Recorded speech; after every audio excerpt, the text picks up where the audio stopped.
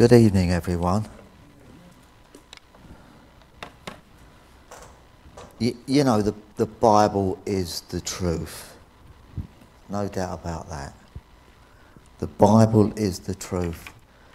Everything that's in this Bible is coming true today. There are lots of people in the world that don't believe it, and that's often because they've never read it.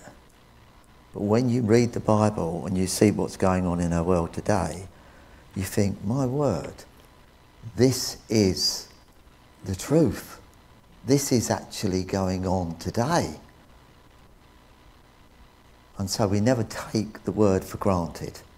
It's the word of God.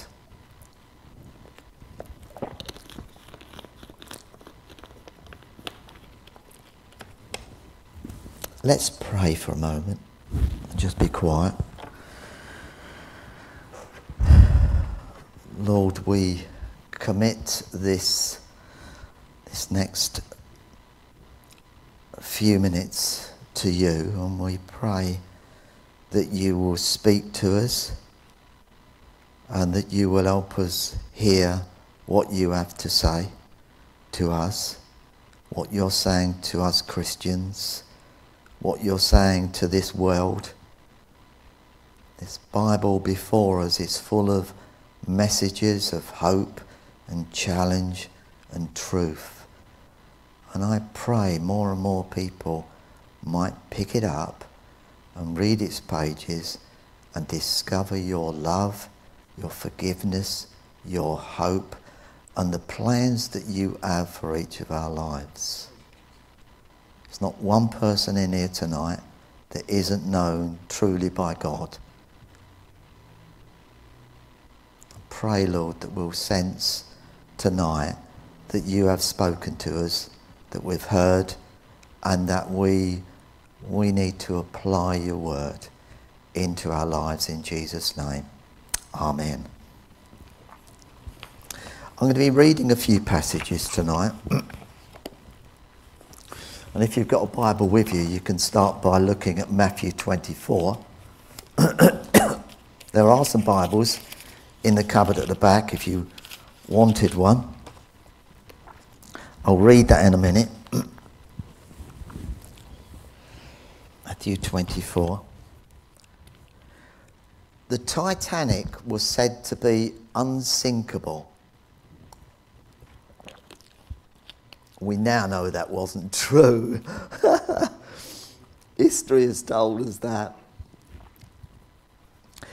racing across the Atlantic, heading for America, trying to beat a world record. And then disaster came. Hit a great big iceberg and it tore a huge, great slice out of the side of the ship. And I believe that the Titanic was, they said it was unsinkable because it had different compartments. And if one was holed, then they could seal it off and the rest would be okay. But the iceberg has sliced through too many of these sealed compartments, and that was doom for the Titanic because it was taken in too much water. It wasn't what the iceberg above the water that sunk it, it was what was unseen of the iceberg under the water that did the damage and eventually send it to the bottom. There'd been warnings that there's icebergs in the Atlantic many times, even an hour or so before it hit an iceberg. A warning came in, but the captain didn't get the warning for some reason. And then when the night watchman saw the iceberg, it was all too late. And it hit. So sadly, they ignored a lot of different warnings because their main focus was to win the prize of the speediest crossing when we come back to the Bible, this is where it's all relevant, there are hundreds, if not thousands, of warnings throughout the Bible of what's to come. We have no excuse. In Matthew 24, we're going to read something of the warnings that Jesus has given us when it comes to the last days. Watch out that no one deceives you in verse 4 of 24. For many will come in my name, claiming I am the Messiah, and will deceive many. You will hear of wars and rumors of wars, but see to it that no one is alarmed. Such things must happen, but the end is still to come. Nations will rise against nations, and kingdoms against kingdoms. There will be famines and earthquakes in various places. All these things are the beginning of birth pains. Then you will be handed over to be persecuted and put to death, and you will be hated by all nations because of me. At that time, many will turn away from their faith and will betray and hate each other. And many false prophets will appear and deceive many. And it goes on and on and on. Warning after warning after warning. Jesus gives in that particular passage. John in Revelation warns us. Paul warns the church about false teachers, as does Jesus in this passage. Timothy warns us about false teachers in the last days. Moses warned the Israelites the consequences of disobeying the laws. The prophets warned the people not to engage in pagan worship and the punishments that God would inflict on them, if they did so. Paul in Ephesians 6 warns us of how the devil and his schemes, the principalities of darkness, are seeking to undermine Christians. Undermine Christians and sink Christians. And he operates under the radar sometimes. Very craftily, as Paul points out. And sadly, many Christians and churches have already been sunk they're sunk. They've gone down like the Titanic. They are no longer walking with God. They are no longer in the truth. They have been holed, they've been deceived, they've been sunk. And that's why some Christians today are struggling to find churches that are staying with the truth. And I hope, please God, that this denomination does not fall like the rest. Because the Methodists have gone, the United Reformed Church have gone, the Baptists are wavering, the Anglican Church, look, look what's just happened to them. They've been well and truly scuppered and hauled beneath the waves, and now there's a split in the Anglican Church like never before in the history of the Anglican Church. And it's all come from deception and crafty schemes of the devil that have been crept in under the radar. But the warnings were there right from the beginning or else God wasn't God. God warned the churches if you go that way and embrace those things, you will go under and you will sink. That's the scripture. That's why I've just read from Matthew 24, where Jesus says, Listen, be warned. This is going to happen. Jesus warned his disciples in the garden stay awake. In Luke 18, verse 8, he says, When I return, will I find you in faith? When we hear that scripture, I don't know about you, when you hear that, you think, when Jesus says, Will I find faith on the earth when I return? You think, like me, of others. Others. Will he find faith? Will, will, will other people be following him? No, he's talking to you. And he's talking to me. And he's saying, Will you be in faith when I return? Because you don't know when I'm going to return. See how important it is we take the warnings to heart. And you know, Jesus seems to suggest here that when it comes to finding faith, it's likely he's not going to find any. That's the challenge. That's what he says. Will I find faith when I return? If we are to remain in the faith, we must watch and pray. That's what he said. Stay in the word, stay in prayer, and this is very important because I'm going to touch on this big time tonight. Stay close to each other. Find Christians who are on fire for God. Stay close to them because they might keep you in the faith. You know, the Bible talks about spurring one another on. What do you think tonight's been about? It's spurring each other on. What was this morning really about? Why are we gathering?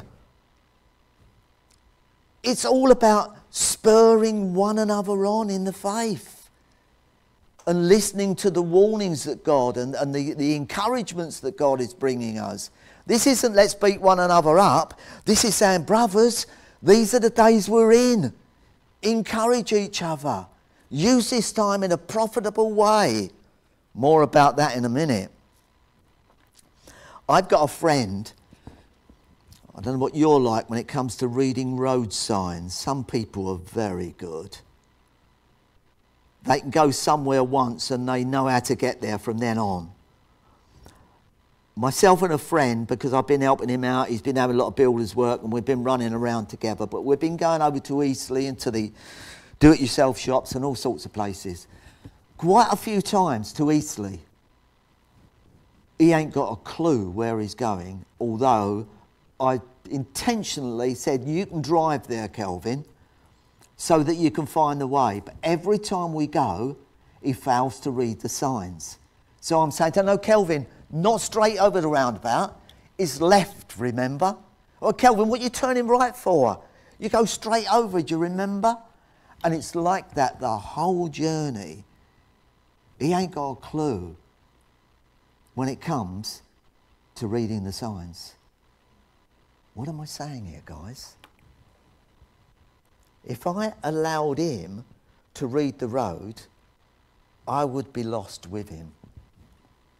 You see the point why Jesus talks about all the warnings because he doesn't want anyone to lose their way and to lose faith. That's why it's there, to encourage us not to put us down. If we fail to read the signs, we end up getting lost. Any church that embraces the worldly agendas today has already been lost.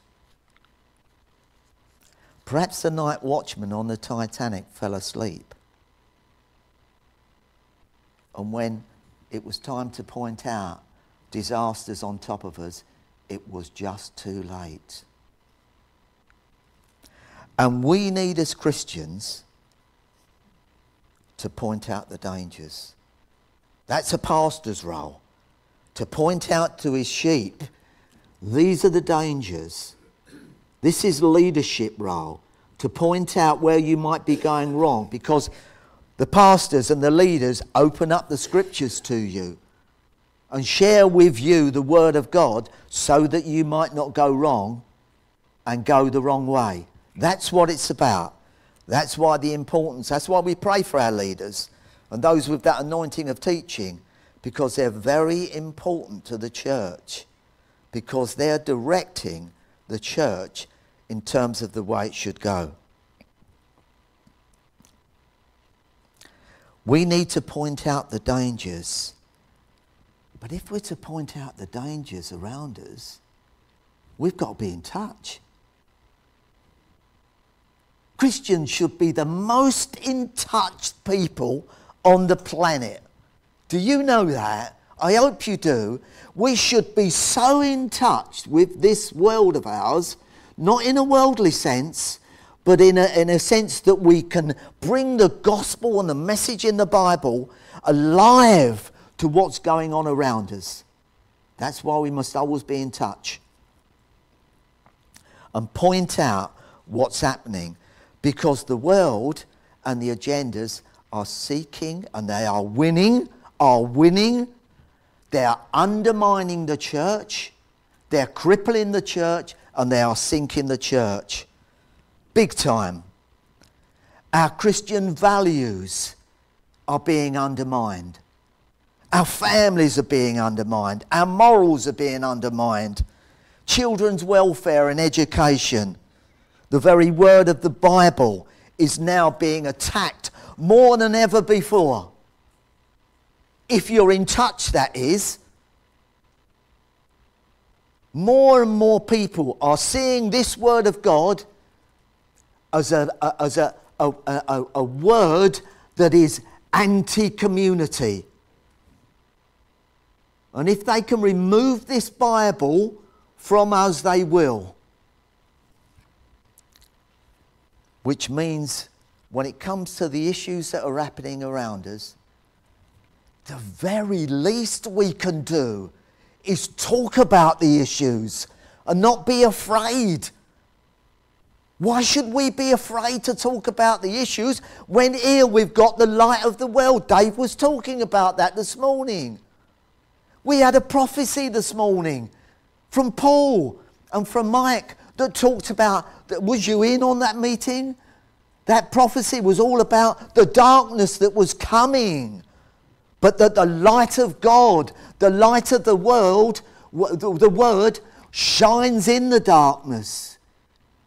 We must talk about the issues so that we can get understanding. And when we pray, we pray with wisdom. Like an iceberg under the water, the worldly agendas are impacting on Christians. For example, sex education in schools is almost pornographic. It is perverted. There's no doubt about that.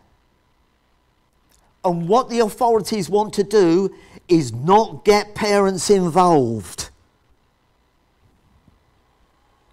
If you knew what some of the teenagers are being taught through sex education, and you as a parent, you'd be up that school complaining and shouting and screaming because believe me, I won't even mention what's, what the books talk about in those sex education that our children, that parents are trying to bring up morally, they're being undermined.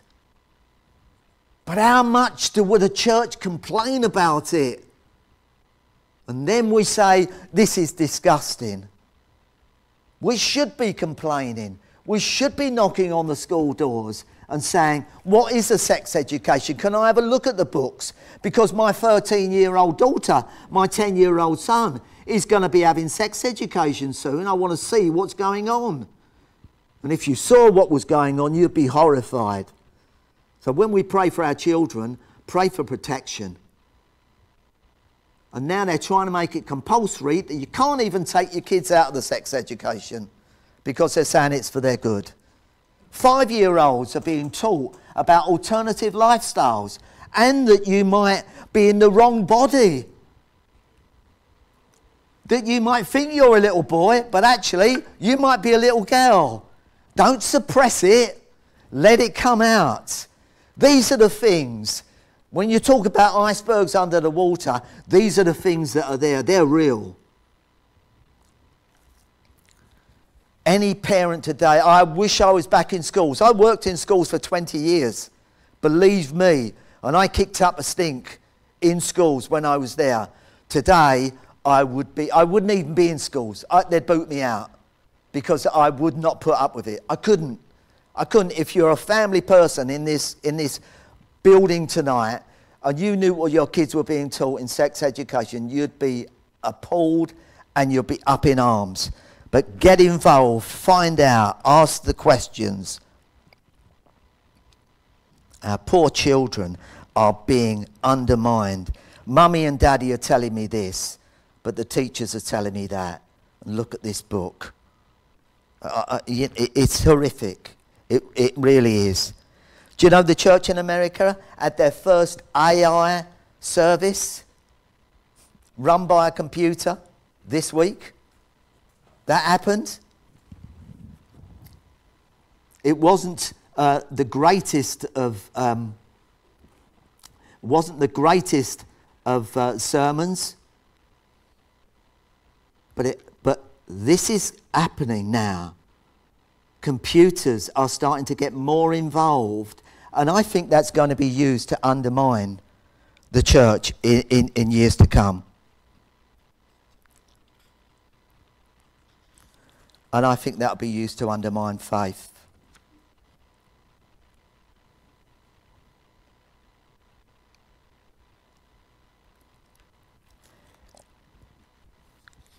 The internet now is being used big time, as we know.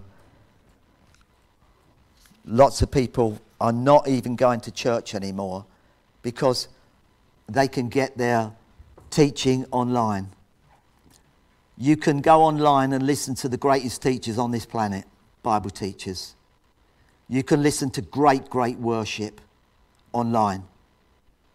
And many Christians are saying, well, why am I going to church? We're not listening to the greatest teachers on the planet online and the greatest worship on the planet online.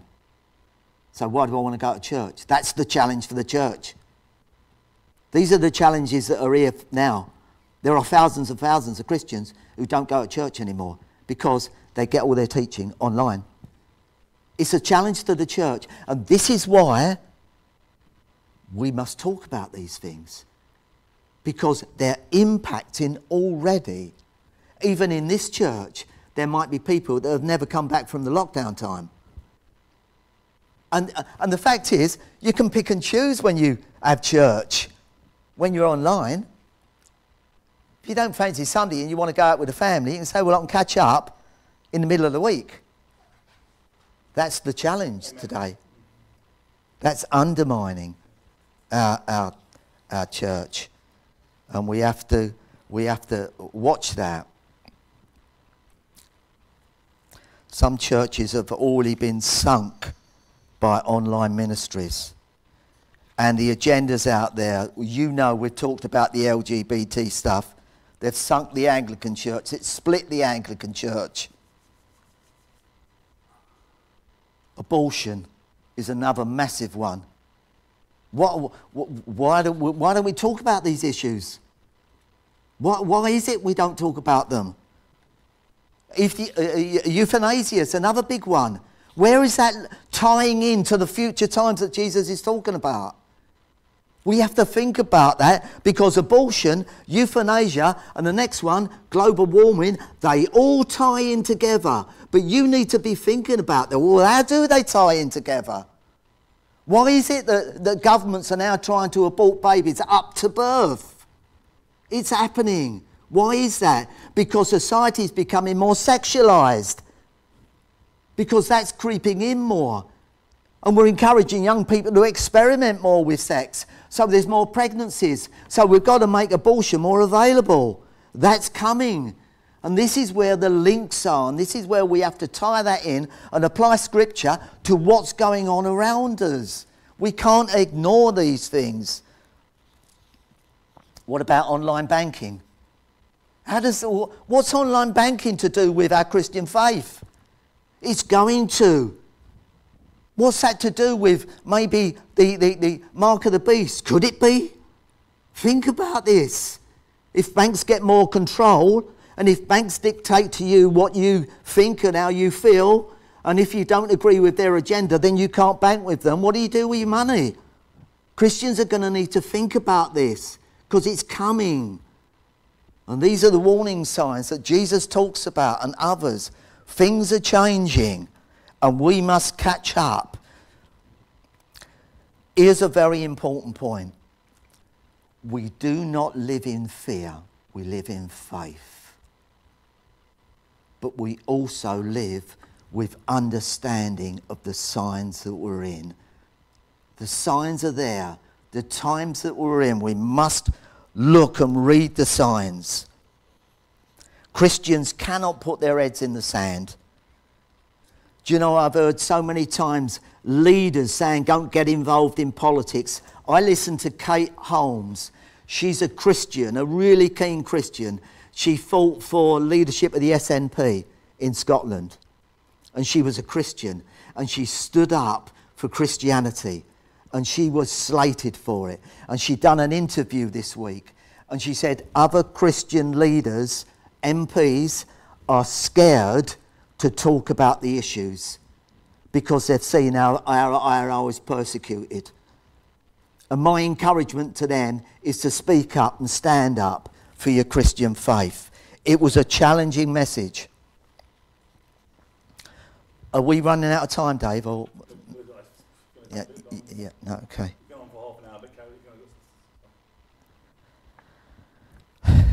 Paul encourages the Colossian church to watch and pray. Devote yourselves to prayer. Devotion to prayer is more than just a prayer meeting. It's a devotion, a passion, a total commitment. And that's what Paul is encouraging us, each one of us, to be devoted, devoted to the word, devoted to prayer.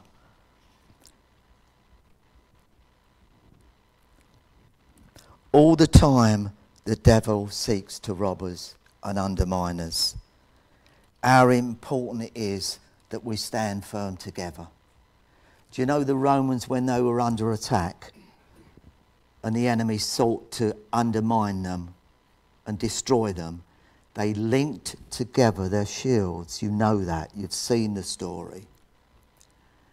But to link your shields together, you have to get close. And there's a message there for us about getting close, about covering each other from the attacks of the ever the devil. Because the devil will seek to spoil and undermine, and we must stand together in these days. Our, do you know, I've got a feeling on the Titanic it was rather superficial because you had your upper classes and you had your middle classes and you had your lower classes. The lower classes were generally right down in the bottom of the ship, and the upper classes were at the top. And they, they had their maids with them and their butlers. And, and, and they would, would, would it, it, was, it was luxury. If you, you, you saw any of the pictures of the Titanic, it was a beautiful ship. Uh, and, and wealthy people were on board and they had their cigars and their brandies, and they sat at the captain's table, and it was all so nice, but rather superficial. When did it get real? When did that change? It changed when disaster struck. Because then you saw what was superficial become real. And people took off the superficial thing because now it was about life and death. And you know, I think if we don't learn to go deeper with each other and God, if we remain in the superficial, God will force us through circumstances to get closer to each other, where you're, you, you will depend more on, a, on each other. You'll be forced together. Can you see that coming? You can see it coming, can't you? As the pressure comes on the church, in, in, in, it may be months or years to come, we'll be forced to depend upon each other more and get closer to each other. And that's how it must be. So when we come together, we must be real. We support each other. We, we spur each other on. We encourage each other. We pray for each other, which we're going to do now. It's most important because we don't want anyone to lose faith. I have good Christian friends who were Christian friends and working evangelicals, but things have crept in and they've drifted away and now they're backslidden. And it might have been they were in church and they had a need and a challenge and a difficulty, but they didn't know where to go with it because everyone was, How are you? I'm fine. Are you? Yeah, I'm fine too. Everyone's fine. And it's up in these days for us all to say, God wants us to be real. And I'm not saying we're not real, but God wants us to be real. I'm conscious, Dave, you're. Yeah, I'm conscious of that. Um, okay, we're going to finish there. Let's pray. Lord, we pray for this church. We pray for one another. We love being in fellowship together. We want our fellowship to be real and true. And there's there, uh, all, all the, the, the, the, messages here, Lord, and I haven't had time to, to read from Thessalonians, which was an important passage, but we'll leave that. I pray, Lord, that we will learn the lessons. I pray that we will uh, get deeper with you and deeper with one another. Encourage us, Lord, I pray, as we pray for each other and take us deeper with you and help us discern where the devil's trying to get in, Lord. Help us discern, Lord. What is it that we, we, we are anxious about? We're fearful about? What is it that, that we're causing, causing us to, to in any way uh, grieve your spirit? Lord, help us face those things because we want more of you. In Jesus' name, amen.